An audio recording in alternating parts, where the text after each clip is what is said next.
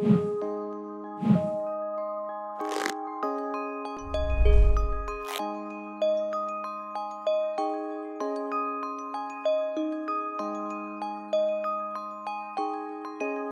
evening. My name is Amanda from Raising My Knights, and today I'm joining Booktopia for a bedtime story. Today's book is about a boohoo baby. Let's discover this book. What shall we do with the boohoo baby?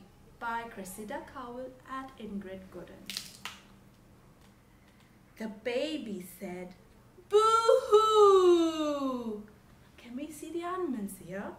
We have a duck, a cat, a dog, and a cow. Yes. Quack, said the duck. Hmm, what do you think is happening in this picture? They're all trying to make the baby stop crying. Let's have a look. Did they succeed? What shall we do with the boohoo baby? Boohoo! Feed him, said the dog. So they fed the baby. Meow, said the cat. Boo, bow wow, said the dog. Quack, said the duck. Moo, said the cow. See, if you look at them, they're all carrying food to keep the baby, to stop the baby from being hungry.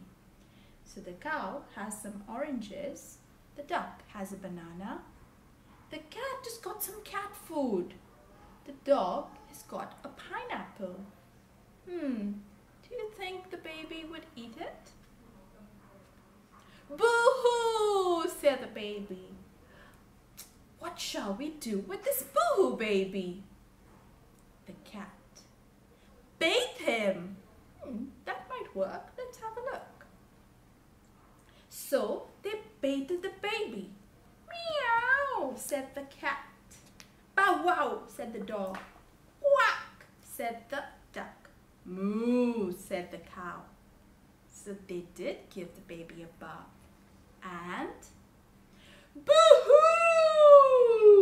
said the baby, still crying. What shall we do with the boohoo baby? Play with him, said the cow. Mm, that seems an interesting idea. We love to play, don't we? So they played with the baby. Meow, said the cat. Bow wow, said the dog. Quack, said the duck. Moo, said the cow. And Boo-hoo, said the baby. What shall we do with the boo-hoo baby? Put him to bed, said the duck. I think the duck is the wise one. So, meow, said the cat. Bow wow, said the dog.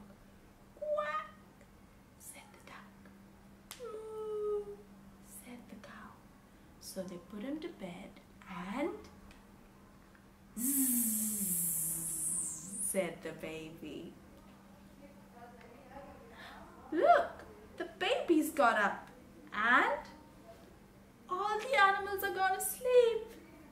Oh, I hope you enjoyed today's book and it's time to go to bed.